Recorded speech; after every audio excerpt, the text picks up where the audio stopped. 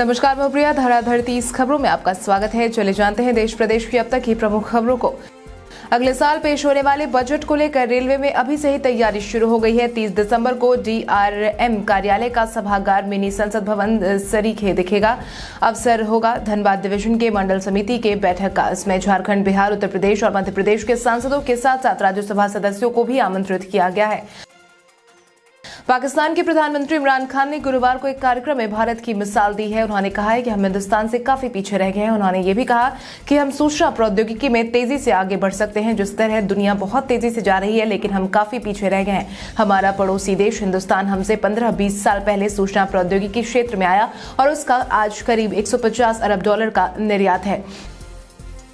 केंद्र की मोदी सरकार किसानों के लिए कई योजनाएँ लेकर आ चुकी है। इसके तहत ही इसी तरह की एक योजना का पीएम किसान योजना है। पीएम किसान योजना के तहत ही देश के करोड़ों किसानों को आर्थिक रूप से फ़ायदा मिलता है। सरकार किसानों को साल में कुल छह हज़ार रूपए देती है, जिससे तीन किश्तों में ट्रांसफ़र किया जाता है। केंद्रीय सड़क परिवहन और राजमार्ग मंत्री नितिन गडकरी ने कहा है कि वो रूस से एक ऐसी तकनीक लाए हैं जो इथेनॉल के कैलोरी मान को पेट्रोल के बराबर बढ़ा सकती है। उन्होंने कहा है कि अगर मंजूरी मिलती है तो इसका उपयोग इथेनॉल के कैलोरी मान को बढ़ाने के लिए किया जाएगा। केंद्रीय मंत्री अनुराग ठाकुर ने कहा है कि उत्तर प्रदेश में समाजवादी पार्टी यानी कि सपा के शासन में दंगे होते थे और अब भाजपा नीत सरकार में दलालों का आयोजन हो रहा है। ठाकुर ने उत्तर प्रदेश में भाजपा सरकार को अपराध पर लगाम लगाने का श्रेय दिया है। उन्होंने कहा कि पिछले पाँच साल में हमने उत्तर प्रदेश को गुंडाराज से मुक्त होते हुए देखा है। देश में ओमिक्रॉन के बढ़ते खतरे को लेकर केंद्र सरकार ने सख्त रुख अपनाया है। वायरस से निपटने के लिए सभी राज्यों की तैयारियों का जायजा लेने के बाद उन्हें केंद्र द्वारा कुछ सुझाव दिए गए हैं। इसके बाद कई राज्यों में सख्त पाबंदियाँ लगा दी गई हैं। खासतौर पर क्रिसमस और न्यू ईयर के जश्न पर शिकंजा कसा गया है। देश के विभिन्न राज्यों में ओमिक्रॉन के बढ़ते मामलों को देखते हुए उत्तर प्रदेश सरकार ने क्रिसमस के दिन, यानी 25 दिसंबर से राज्य में रात का कर्फ्यू लगाने का फैसला किया है। राज्य में रात्रि 11 बजे से सुबह पाँच बजे तक अगले आदेश तक रात्रि कर्फ्यू रहेगा। राज्य सरकार उन्नीस सौ बत्तीस से 2021 तक की अवधि में आदिवासियों की ज़मीन के अवैध हस्तांतरण का पता लगाएगी। इसके लिए भू राजस्व विभाग ने सभी आयुक्तों और उपायुक्तों को पत्र लिखकर सी एन टी एक्ट के प्रावधान के आलोक में चौदह बिंदुओं पर रिपोर्ट मांगी है। झारखंड सरकार ने झारखंड कर्मचारी चयन आयोग के तहत मैट्रिक और इंटरमीडिएट स्तर की परीक्षाओं के संचालन के लिए भी स्थानीय और क्षेत्रीय भाषाओं की सूची ज़िले के हिसाब से अलग अलग संसूचित कर दी है। कार्मिक विभाग ने इन भाषाओं की सूची कर्मचारी चयन आयोग को भी भेज दी है। हाल ही में राज्य सरकार ने परीक्षा संचालन नियमावली में संशोधन कर सुनिश्चित किया था कि मैट्रिक और इंटरमीडिएट स्तर की परीक्षाओं में स्थानीय भाषा की जानकारी होना अनिवार्य होगा। महाराष्ट्र विधानसभा के उपाध्यक्ष नरहरी झिरवाल ने शुक्रवार को विधानसभा सचिव से कहा है कि वो एक साल के निलंबन के खिलाफ दायर भारतीय जनता पार्टी के 12 विधायकों की याचिका पर जारी उच्चतम न्यायालय के नोटिस का जवाब नहीं देंगे इन 12 विधायकों को विधानसभा अध्यक्ष के कक्ष में इस साल पाँच जुलाई को पीठासीन अधिकारी भास्कर यादव के साथ बदसुलूकी करने के मामले में राज्य विधानसभा से निलंबित कर दिया गया। पंजाब में अगले साल होने वाले विधानसभा चुनाव को लेकर के सभी पार्टियों ने तैयारियाँ तेज कर दी हैं। इसी के तहत दिल्ली के मुख्यमंत्री अरविंद केजरीवाल शुक्रवार को पंजाब के गुरदासपुर पहुँचे और कहा कि हम पंजाब में शांति और सुरक्षा का माहौल देंगे। इसके लिए उन्होंने पाँच बड़े ऐलान किए हैं, जिसके ज़रिए पंजाब में शांति स्थापित किए जाएँगे। दूरसंचार विभाग ने उपभोक्ताओं के कॉल डेटा और इंटरनेट इस्तेमाल करने संबंधी रिकॉर्ड सुरक्षित रखने की अवधि सुरक्षा कारणों से एक साल से बढ़ाकर दो साल कर दी है। लाइसेंस में संशोधन 21 दिसंबर को जारी किए गए थे और 22 दिसंबर को इनका विस्तार अन्य प्रकार के टेलीकॉम परमिट तक कर दिया गया। राजस्थान में कांग्रेस सरकार ने हाल ही में सत्ता में तीन साल पूरे किए हैं। सरकार को अपने भीलवाड़ा मॉडल के लिए प्रशंसा मिली है, जिससे कोरोना पर रोक लगाने में मदद मिली। एक ईमेल साक्षात्कार में राजस्थान के मुख्यमंत्री अशोक गहलोत ने स्पष्ट रूप से सवालों का जवाब दिया। दिल्ली में गेस्ट टीचर्स को लेकर मुद्दा शांत होता नहीं दिख रहा है। बुधवार को शिक्षा मंत्री मनीष सिसोदिया ने दिल्ली शिक्षा निदेशालय को गेस्ट कॉन्ट्रैक्ट टीचर्स के वेतनमान को बढ़ाने के लिए प्रपोजल बनाने को कहा। तो वहीं दिल्ली कांग्रेस ने दिल्ली सरकार से मांगा है कि तनख्वाह के साथ टीचर्स को स्थायी भी किया जाए।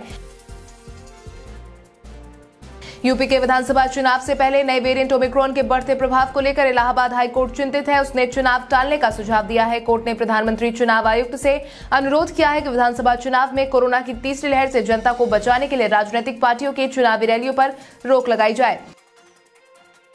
इंग्लैंड के कप्तान जो रूट ने शुक्रवार को यहाँ एसेज सीरीज़ के बाद अपनी कप्तानी गंवाने से जुड़ी अफवाहों को खारिज किया है। साथ ही उन्होंने कहा है कि उनका ध्यान केवल 26 दिसंबर से शुरू हो रहे एमसीजी टेस्ट को जीतने पर है। पाँच टेस्ट मैचों की सीरीज़ में इंग्लैंड शून्य दो से पीछे है। एसेज पाने की उम्मीद कम होती जा रही है क्योंकि टीम गाबा में शुरुआती टेस्ट में नौ विकेट एडलेड ओवल में दूसरा टेस्ट दो सौ पचहत्तर रनों से हार गई थी।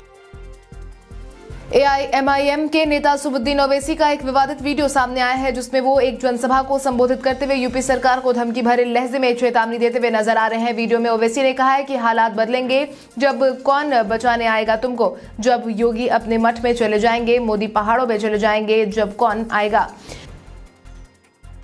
चीन के राष्ट्रीय मौसम विज्ञान केंद्र ने शुक्रवार को देश के बड़े क्षेत्रों में कम तापमान आंधी का अनुमान लगाते हुए शीतलहरों के लिए येलो अलर्ट जारी किया है। समाचार एजेंसी सिन्हुआ की रिपोर्ट के अनुसार शुक्रवार से रविवार तक उत्तर, मध्य, पूर्व, दक्षिण चीन के कुछ क्षेत्र में तापमान में 6 से 10 डिग्री सेल्सियस की गिरावट आने की संभावना है। बिहार के जल संसाधन विभाग के मंत्री संजय झा ने कहा है कि उत्तर प्रदेश के साथ साथ कई राज्यों में हो रहे विधानसभा चुनाव में जदयू हिस्सा लेने वाली है। साथ ही उन्होंने कहा है कि दिल्ली में पार्टी का बहुत अच्छा जनाधार बना है और दिल्ली नगर निगम के चुनाव के साथ साथ पार्टी वहाँ विधानसभा चुनाव भी लड़ेगी, जिसमें अच्छे परिणाम आने की संभावना है। आधी दिसंबर में गुन, गुनानी ठंड के बाद अब बिहार में कड़ाके की ठंड पड़ रही है। पछुआ हवा के बहने से बिहार में सिहरन और कनकनी वाली ठंड है। कुहासे का कहर ज़्यादा नहीं है। इसके बावजूद ठंड अपने शबाब पर है। और अब खबर अगर हम दिसंबर की बात करें तो अंतिम सप्ताह में 27 से 30 के बीच बारिश भी हो सकती है। भारत में एक दिन में कोविड 19 के 6,650 नए मामले सामने आए हैं जिसके बाद संक्रमण के कुल मामलों की संख्या बढ़कर तीन करोड़ सैंतालीस लाख बहत्तर हज़ार छह सौ छब्बीस पर पहुँच गई है। वहीं उपचाराधीन मरीजों की संख्या घटकर सतहत्तर हज़ार पाँच सौ सोलह रह गई है। पिछले चौबीस घंटे में तीन सौ चौहत्तर और संक्रमितों की जान जाने के बाद जान गंवाने वालों की संख्या बढ़कर चार लाख उनासी हज़ार एक सौ तैतीस हो गई है। पूर्व पीएम अटल बिहारी वाजपेयी के जन्मदिन पर हरियाणा में 25 दिसंबर को सुशासन दिवस मनाया जाएगा। इस अवसर पर राज्य स्तरीय समारोह पीडब्ल्यूडी रेस्ट हाउस पंचकुला में आयोजित किया जाएगा। प्रशासनिक सुधार विभाग द्वारा आयोजित किए जा रहे समारोह में मुख्यमंत्री मनोहर लाल खट्टर मुख्य अतिथि के रूप में शिरकत करेंगे। पूर्व लोकसभा सदस्य अरुण कुमार ने बिहार के मुख्यमंत्री नीतीश कुमार की समाज सुधार यात्रा पर तंज कसते हुए कहा कि राज्य की परेशानियों और मूल मुद्दों से ध्यान भटकाने के लिए ही वो इस तरह की यात्रा निकालते हैं। बिहार को विशेष राज्य का दर्जा दिलाने की नीतीश की मांग से उनकी पार्टी के नेता और केंद्रीय मंत्री आरसीपी सिंह के अलग विचार रखने पर उन्होंने कहा है कि विशेष राज्य का दर्जा भौगोलिक आधार पर अन्य कारणों से मिलता है। क्रिसमस या नए साल पर दर्शक राज्य के इकलौते तारामंडल में अंतरिक्ष की सैर नहीं कर पाएँगे। तारामंडल आम दर्शकों के लिए बंद हो चुका है। अब तारामंडल शो का संचालन दोबारा कब से शुरू होगा, इस पर फ़िलहाल तारामंडल प्रशासन की तरफ़ से निर्णय नहीं हो पाया है। राष्ट्रीय विज्ञान संग्रहालय परिषद द्वारा तारामंडल थिएटर के बाहरी हिस्सों में वाटर प्रूफिंग का काम चल रहा है। इसके कारण दर्शकों के लिए शो का संचालन बंद किया गया। ये काम जनवरी तक पूरा होगा। बिहार में शराब को लेकर सख्ती बढ़ने के साथ ही शिकायतों की बाढ़ आ गई है। हालत यह है कि पिछले एक महीने में मध्य निषेध उत्पाद और निबंधन विभाग के कंट्रोल रूम नंबर 15545 और 1800345626 पर लगभग 7000 से अधिक शिकायतें मिली है। लोग वाहनों से होने वाली शराब की मूवमेंट होटल या सार्वजनिक इलाके में संदिग्ध गतिविधि से लेकर परिवार के किसी सदस्य या पड़ोसी के शराब पीने संबंधित जानकारी दे रहे हैं। भारत के दिग्गज स्पिन गेंदबाज हरभजन सिंह ने शुक्रवार को अंतर्राष्ट्रीय क्रिकेट से संन्यास लेने का ऐलान कर दिया है। हरभजन सिंह ने साल उन्नीस में अपना डेब्यू किया था और अब तेईस साल उन्होंने क्रिकेट को हमेशा के लिए अलविदा कह दिया है। प्रदेश में उत्तर भारतीयों की बढ़ती संख्या हर पार्टियों को आकर्षित कर रही है। यही वजह है कि अब तक सिर्फ़ भाजपा में प्रदेश स्तर पर बनाए जाने वाले उत्तर भारतीय मोर्चा को काउंटर करने के लिए कांग्रेस ने पहली बार उत्तर भारतीय सेल का गठन प्रदेश स्तर पर कर दिया है। झारखंड के अलग अलग जिलों में विदेश से आए यात्रियों की पहचान कर प्रशासन उनकी कोरोना जाँच करवाने के इंतज़ाम में जुट गई है। इसी क्रम में धनबाद जिला प्रशासन भी तेज़ी से विदेश से आए लोगों की जानकारी जुटाने में लग गया है। बताया जाता है कि अक्टूबर के बाद अब तक ज़िले में दो सौ निन्यानवे विदेश यात्री आ चुके हैं, जिनमें अस्सी लोग ट्रेसलेस है, यानी कि स्वास्थ्य विभाग उन्हें नहीं ढूंढ पा रही है। भारत में कोरोना के नए वेरिएंट ओमिक्रॉन को लेकर बढ़ते मामलों के बीच पंजाब सरकार ने भी चिंता व्यक्त की है। राज्य में ओमिक्रॉन की एंट्री के बाद पंजाब सरकार अलर्ट नज़र आ रही है। पंजाब के सीएम चरणजीत सिंह चन्नी ने लोगों से कोरोना के दौरान गाइडलाइन का विशेष ध्यान रखने का आग्रह किया है। अपनी प्रेस कॉन्फ्रेंस के दौरान उन्होंने कोरोना के बढ़ते मामलों पर चिंता जताई है।